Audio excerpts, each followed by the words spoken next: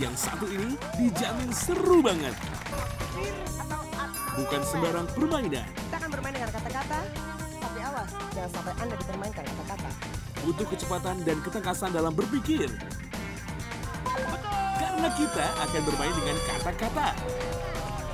Kuis main kata.